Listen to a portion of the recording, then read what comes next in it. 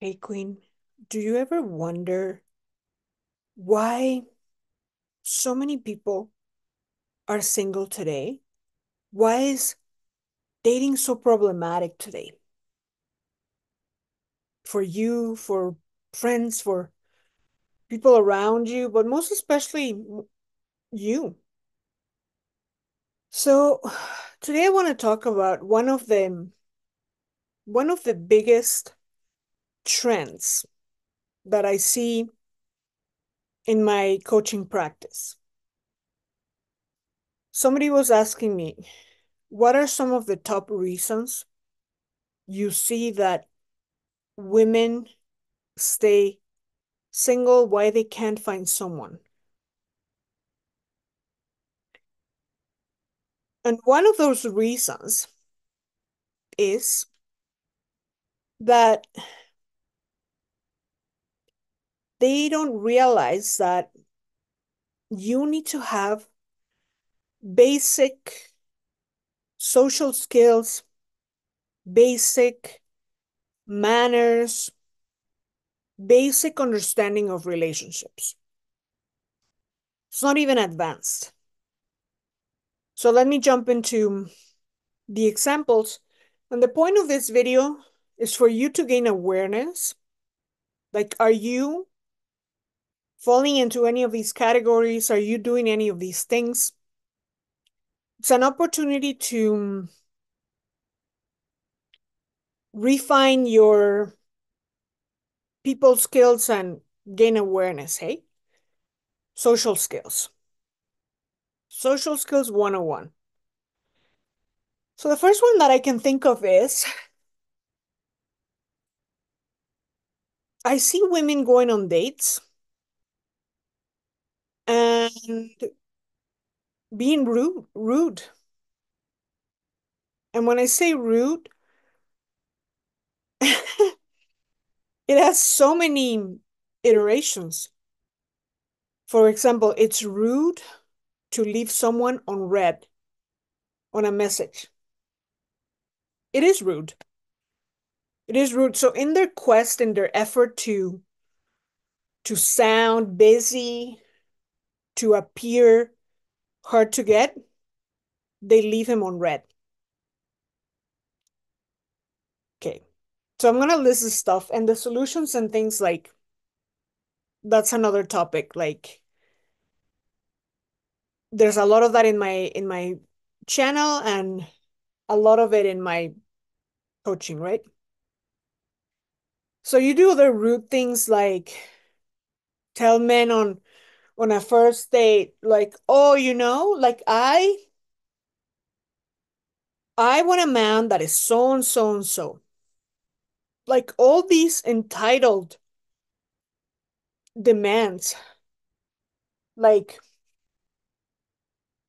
I think a man should pay all my bills, all the bills. Like I think a man should be so and so. These are my standards. Girl, yeah. Like sure. Like of course. We only date provider men and blah blah blah.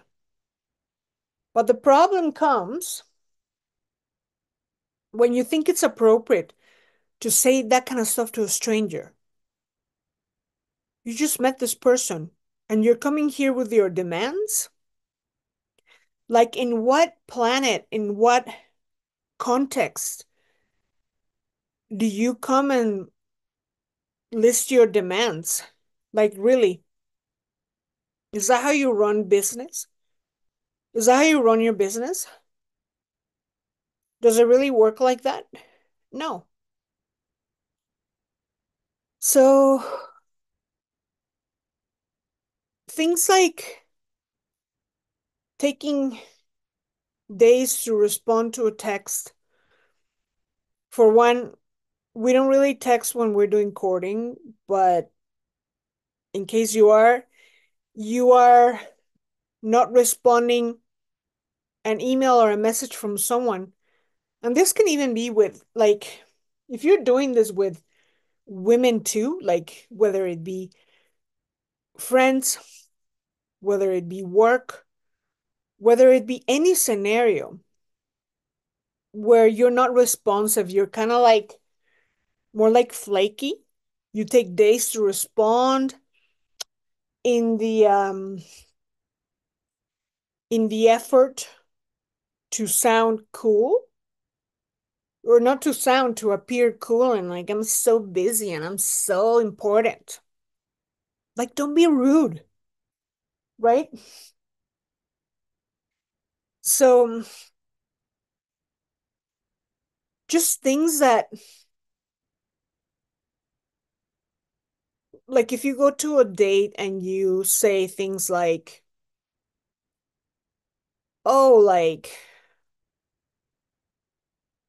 I just literally forget forget examples right now. But if you're going to a date and not being polite, not being discreet, and having um an entitled energy around you. It's it's not only rude, but it's just inappropriate for someone you just met. So having basic social skills of being polite, of being discreet, of being uh, responsive is so important.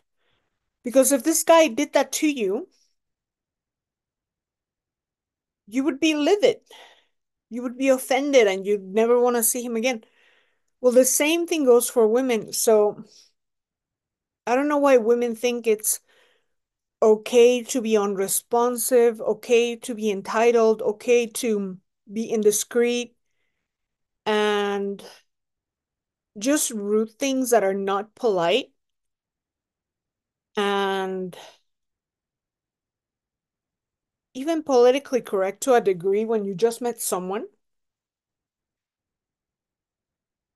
So I want you to stop and think do you ever do things to seem hard to get?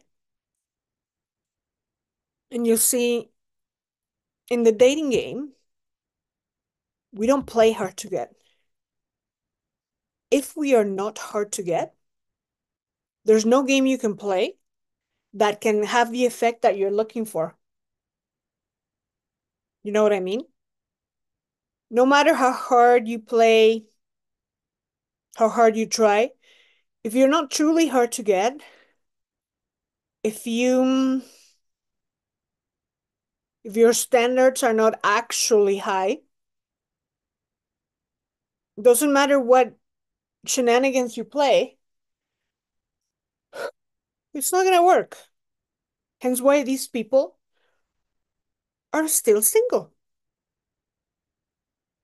Because it's not about pretending to be someone you're not.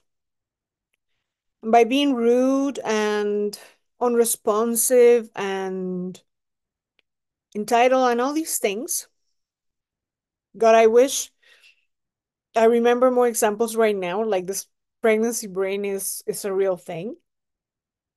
Totally blanked out. Um, just trying to remember. Saying things that are triggering to men. Triggering things like, oh my God. Um, like how you expect them to be providers, just all these things. I can't, I, I literally am spacing out right now with more examples, but anything that you would not say to a stranger in the street otherwise, you shouldn't be saying on dates. You know? Like there was this one girl, she's a freaking dating coach and she's 25. Of course, single and all that stuff. And she um she kept saying how she has a list, a love list of I think it was like 10 to 20 pages of her requirements and her standards.